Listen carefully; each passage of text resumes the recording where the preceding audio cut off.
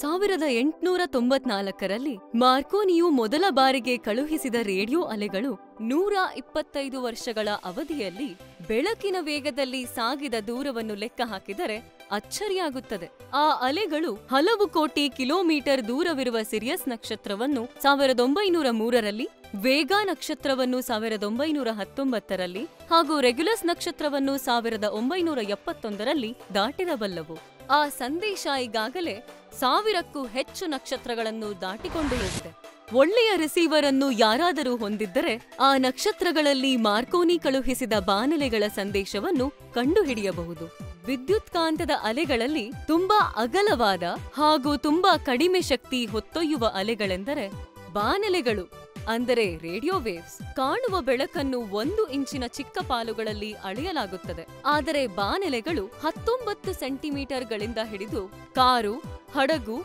ಬೆಟ್ಟಗಳಷ್ಟು ಅಗಲ ಅಲ್ಲದೆ ನಮ್ಮ ಗ್ರಹದ ಅಡ್ಡಳತೆಗಿಂತ ದೊಡ್ಡದಾದ ರಕ್ಕಸ ಅಲೆಗಳಷ್ಟು ಅಗಲ ಕೂಡ ಇರಬಹುದು. ಸಾವಿರದ ಎಂಟುನೂರ ಎಂಬತ್ತೆಂಟರಲ್ಲಿ ಹೈನ್ರಿಕ್ ಹರ್ಟ್ಸ್ ಬಾನಲೆಗಳನ್ನು ಕಂಡುಹಿಡಿದರು. ಸಾವಿರದ ಒಂಬೈನೂರ ಇಪ್ಪತ್ತರ ನವೆಂಬರ್ ಎರಡರಂದು ಪೆನ್ಸಿಲ್ವೇನಿಯಾದ ಪಿಟ್ಸ್ಬರ್ಗ್ನಲ್ಲಿ ಮೊದಲ ರೇಡಿಯೋ ಸ್ಟೇಷನ್ ತಲೆ ಎತ್ತಿತು. ಆ ಬಳಿಕ ಸಾವಿರದ ಒಂಬೈನೂರ ಮೂವತ್ತೆರಡರಲ್ಲಿ ನಕ್ಷತ್ರಗಳು ಹಾಗೂ ಹೊರಬಾನಿನ ಇನ್ನಿತರ ವಸ್ತುಗಳು ಬಾನಲೆಗಳನ್ನು ಹೊರಸೂಸುತ್ತವೆ ಎಂದು ಬೆಲ್ ಲ್ಯಾಬ್ಸ್ನ ಕಾಲ್ ಜಾನ್ಸ್ಕಿ ಕಂಡುಹಿಡಿದರು. ಆಗ ಹುಟ್ಟಿಕೊಂಡಿದ್ದೇ ರೇಡಿಯೋ ಆಸ್ಟ್ರಾನಮಿ ಆದರೆ ಹೊರಬಾನಿನ ದುರ್ಬಲವಾದ ದೊಡ್ಡ ಅಲೆಯುದ್ಧದ ಬಾನಲೆಗಳನ್ನು ಪತ್ತೆ ಹಚ್ಚಲು ವಿಜ್ಞಾನಿಗಳಿಗೆ ಬಹಳ ದೊಡ್ಡ ಆಂಟೆನಾ ಬೇಕಾಗುತ್ತದೆ. ರೇಡಿಯೋ ಅಲೆಗಳ ಅರೆಸಿಬೋ ಡಿಶ್ ಆಂಟೆನಾದ ಅಡ್ಡಗಲ ಮುನ್ನೂರ ಐದು ಮೀಟರ್ಗಳಷ್ಟಿದೆ.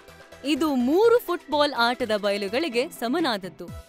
ದೂರದಲ್ಲಿರುವ ಹೊರಬಾನಿನ ಚಿಕ್ಕ ತುಣುಕುಗಳ ಮೇಲೆ ಗಮನ ಹರಿಸಲು ವಿಜ್ಞಾನಿಗಳು ಬೇರೆ ಬೇರೆ ರೇಡಿಯೋ ಆಂಟೆನಾಗಳನ್ನು ಒಗ್ಗೂಡಿಸುತ್ತಾರೆ.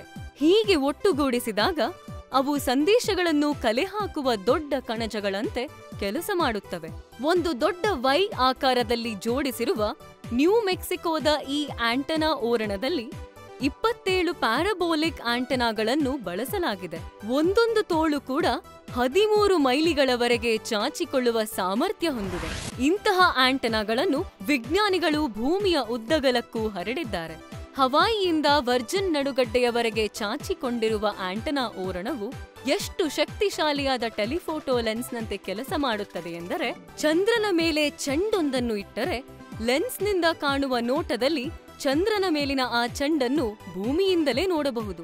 ನಿಮಗಿದು ಗೊತ್ತೇ? ಬಾನಂಗಳದ ಹಲವಾರು ಕೌತುಕದ ವಿಷಯಗಳನ್ನು ಕಂಡುಹಿಡಿಯಲು ಸಾಧ್ಯವಾಗಿದ್ದು ಬಾನಲೆ, ಅಂದರೆ ರೇಡಿಯೋ ಅಲೆಗಳಿಂದಲೇ. ಇಡೀ ಬ್ರಹ್ಮಾಂಡದಲ್ಲಿಯೇ ದೊಡ್ಡ ವಸ್ತುವಾದ ಪಲ್ಸಾರ್ ಎಂದು ಕರೆಯಲ್ಪಡುವ ಸುಡು ಬಿಸಿಯ ಪ್ಲಾಸ್ಮಾದ ಮೋಡಗಳು ಇಲ್ಲವೇ ಹತ್ತು ಬಿಲಿಯನ್ ಬೆಳಕಿನ ವರ್ಷಗಳಷ್ಟು ದೂರದ ಕ್ವೇಸಾರ್ಗಳ ಬಗ್ಗೆ ಮನುಷ್ಯರಿಗೆ ತಿಳುವಳಿಕೆ ನೀಡಿದ್ದು ಈ ಬಾನಲೆ ಅಲೆಗಳೇ. ಅಷ್ಟೇ ಅಲ್ಲದೆ ಬಾನಲೆಗಳು ಸ್ಥಳೀಯ ಮಾಹಿತಿಯನ್ನು ಒದಗಿಸುತ್ತವೆ. ಕಾಂತದ ಹರವು, ಅಂದರೆ ಮ್ಯಾಗ್ನೆಟಿಕ್ ಫೀಲ್ಡ್ ಹೊಂದಿರುವ ಬಾನಂಗಳದ ಕಾಯಗಳು, ಸಾಮಾನ್ಯವಾಗಿ ರೇಡಿಯೋ ಅಲೆಗಳನ್ನು ಸೂಸುತ್ತವೆ. ಉದಾಹರಣೆಗೆ ಸೂರ್ಯ. ಹಾಗಾಗಿ ನಾಸಾದ ಸ್ಟೆರಿಯೋ ಉಪಗ್ರಹಕ್ಕೆ ಸೂರ್ಯನ ಅಂಚಿನ ಭಾಗವಾದ ಕರೋನಾದಿಂದ ಚಿಮ್ಮುವ ಬಾನಲೆಗಳಿಂದ ಮಾಹಿತಿ ಪಡೆಯಲು ಸಾಧ್ಯವಾಗಿದೆ. ವಿಂಡ್ ಸ್ಪೇಸ್ ಕ್ರಾಫ್ಟ್ನಲ್ಲಿರುವ ವೇವ್ ಸೆನ್ಸರ್ಗಳು ಗ್ರಹವೊಂದರ ತುಣುಕು ಪದರ ಹೊರಸೂಸುವ ಬಾನಲೆಗಳನ್ನು ದಾಖಲಿಸುತ್ತವೆ. ಉದಾಹರಣೆಗೆ, ಹದಿನೈದು ಮೀಟರ್ ಅಲೆಯುದ್ದದ ಗುರುಗ್ರಹದಿಂದ ಚಿಮ್ಮುವ ಬಾನಲೆಗಳು. ನಮ್ಮ ಸುತ್ತಲೂ ಹರಡಿಕೊಂಡಿರುವ ಬಾನಲೆಗಳು ನಮಗೆ ಮನೋರಂಜನೆ ಸಂಪರ್ಕ ಹಾಗೂ ಮುಖ್ಯವಾದ ವೈಜ್ಞಾನಿಕ ಮಾಹಿತಿಯನ್ನು ಹೊತ್ತು ತರುತ್ತವೆ. ಈ ಬಾನಲೆಗಳನ್ನು ನಾವು ಆಲಿಸಲಾಗುವುದಿಲ್ಲ. ನಿಮ್ಮ ನೆಚ್ಚಿನ ರೇಡಿಯೋ ಸ್ಟೇಷನ್ಗೆ ನಿಮ್ಮ ರೇಡಿಯೋವನ್ನು ನೀವು ಸರಿಹೊಂದಿಸಿದಾಗ ಈ ಬಾನಲೆಗಳನ್ನು ನಿಮ್ಮ ರೇಡಿಯೋ ಪಡೆದುಕೊಂಡು ನಿಮಗೆ ಕೇಳಿಸುವಂತಹ ಶಬ್ದದ ಅಲೆಗಳಾಗಿ ಮಾರ್ಪಡಿಸಿ ಅದನ್ನು ಸ್ಪೀಕರ್ ಮೂಲಕ ನಿಮಗೆ ತಲುಪಿಸುತ್ತದೆ. ಬಾನಲೆಗಳನ್ನು ನಾವು ನೋಡಲಾರೆವು, ಆದರೆ ಅವುಗಳ ಮೂಲಕ ಇಡೀ ಬ್ರಹ್ಮಾಂಡವನ್ನು ನಾವು ಕಾಣಬಲ್ಲೆವು. ಇಂತಹ ಅಚ್ಚರಿಯ ಅಲೆಗಳನ್ನೊಳಗೊಂಡ ವಿಜ್ಞಾನ ಜಗತ್ತಿನ ಬಗ್ಗೆ ತಿಳಿಯುತ್ತಿರಲು ನಮ್ಮ ತಿಳಿ ಚಾನೆಲ್ಗೆ ಸಬ್ಸ್ಕ್ರೈಬ್ ಆಗಿ.